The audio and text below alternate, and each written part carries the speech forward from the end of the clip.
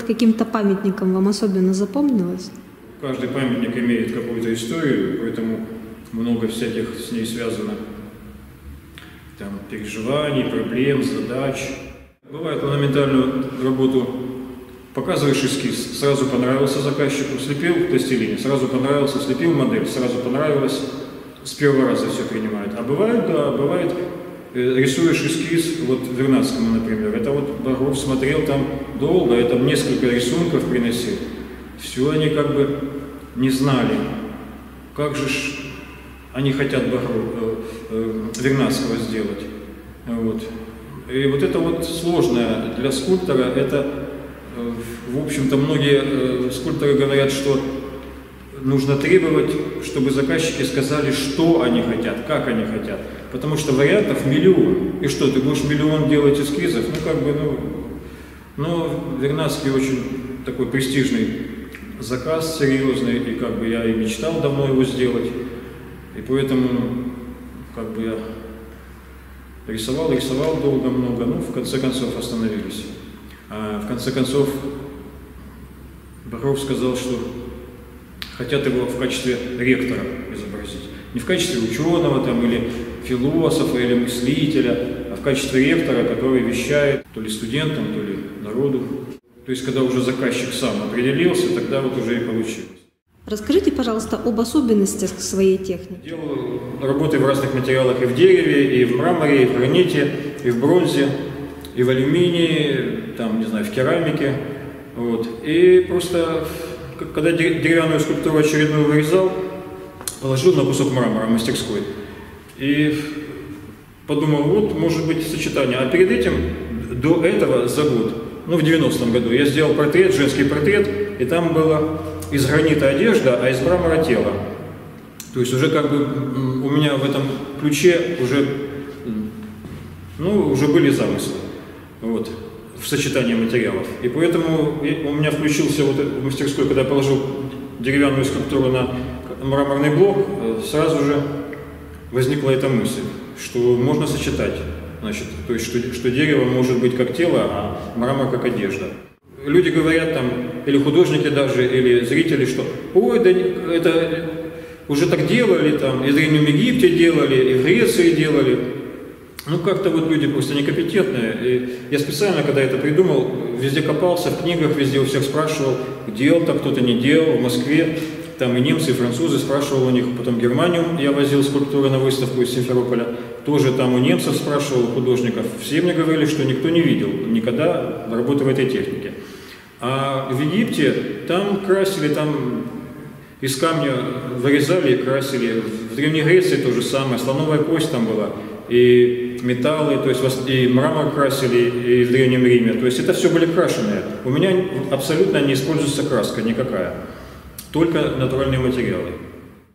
С этой работой как бы любопытная история создания скульптуры Э, начинается замысел, замысел какой-то, когда появляется в голове, его сразу зарисовываешь на бумаге, потому что бывает иногда нет возможности зарисовать и думаешь, ну вот, потом домой приду, зарисую, а уже забудешь, забудешь, ты можешь помнить, э, что ты хотел сделать, но ты забудешь э, изюминку, как бы, в чем смысл, в чем акцент как бы, этого произведения, и поэтому как-то так можешь нарисовать, потом и непонятно.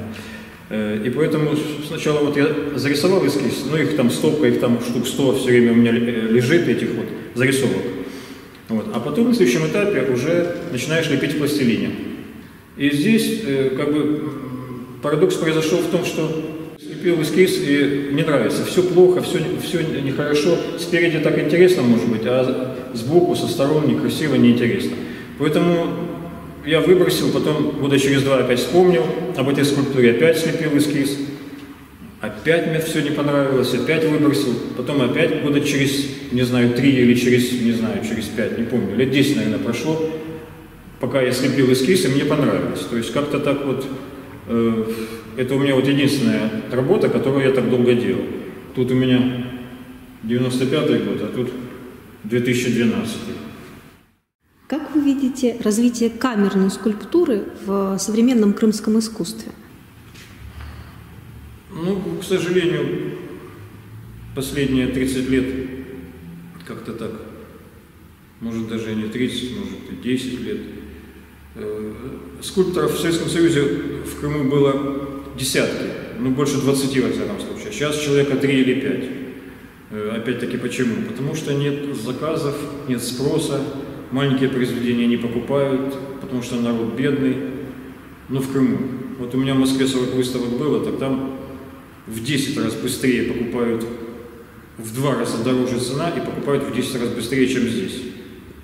Вот, вот как бы собирался в Москву переехать, поэтому там что-то 80 галерей, тогда было лет 20 назад, не знаю, как сейчас, 80 галерей. А у нас, значит, в Симферополе ни одной галереи.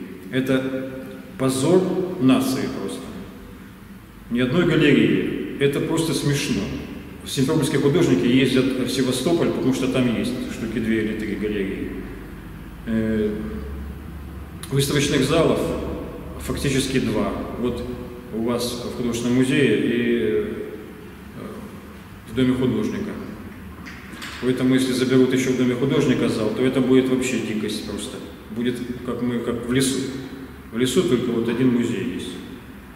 Э, галереи необходимы, потому что художнику для того, чтобы развиваться, нужно не заниматься бизнесом, то есть продажей своих работ, как иногда говорят, знаете, кто такие художники? Кто? Художники – это продавцы картин.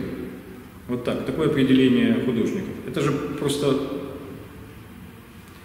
ужас, просто маразм какой-то. Вот. Художнику нужно работать в мастерской, там, встречаться с друзьями, обсуждать какие-то творческие задачи. Вот. Тогда идет развитие какое-то, выставляться, а не э, стоять на набережной и продавать свои пейзажи. Э, или общаться много где-то, искать покупателей. Вот. Тогда у него уровень картин в 10 раз ниже, чем если он занимается только творчеством. А реализация работ должен заниматься какие-то специальные люди, или галерист, или какой-то менеджер, то есть кто-то. Э, в Москве это существует, хотя считается, что в Москве нет рынка вообще, нет ни галерейного, никакого, то есть все это на средневековом уровне, но тем не менее там хоть что-то. Э, а а в Крыму вообще, мы тут как в болоте просто. Поэтому, допустим, я вот дерево с камнем делаю, а средний зритель, он и даже он не видит ни оригинальности, ни, ни, не знаю, ни качества, потому что ни с чем сравнивать. Ни, нет ничего. Ни бронзы, ни, ни гранита, ни мрамора, никаких скульптур нет, чтобы сравнивать. Я вот в Манеже, у меня 40 выставок было, так, там, значит, 90% художников выставляют бронзу, 99%. Сплошная бронза весь манеж. Только у меня вот дерево с камнем стоят. Поэтому мне потом часто многие говорят, что я захожу, смотрю, в конце, там, через 200 метров скульптура стоит дерево с камнем. Я знаю, это Никитин. Вот, то есть, как бы, вот элемент узнавания присутствует. А здесь э, человек смотрит и думает, ну, это что-то такое, вот бронзу, где же бронзу? Вот, вот как бы люди так, стереотипами как бы мыслят, я имею в виду средний зритель. Поэтому у нас, э, вот у меня персональные выставки бывают, я не выкладываю книгу отзывов, потому что что может зритель средний написать? Он практически ничего не видел. Картины видел, картин много, да. У нас живописцев много, и школа очень высокого уровня. А скульптуры это, в общем-то, нет, там 2-3 скульптора. Поэтому, в принципе, нужно обеспечивать или заказами скульпторов скульптурными, или покупать у скульпторов скульптуры. Тогда скульпторов будет не три, а десять хотя бы. И тогда уже будет хотя бы что-то, потому что все познается в сравнении. Если человек э, не слушал оперы раньше, то он, когда первый раз услышит оперу, он вообще ничего не поймет. Он не знает, хорошо это или плохо вообще, имеет это смысл слушать и записать или нет.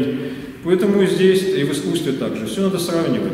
Как мы видим, какие у нас художники, какой хороший художник, какой плохой, в сравнении с другими художниками. А если бы только одного художника показывали, так люди бы и не знали, хороший он или плохой. Ничем, все в сравнении. Также высокий, низкий, красивый, некрасивый, все относительно.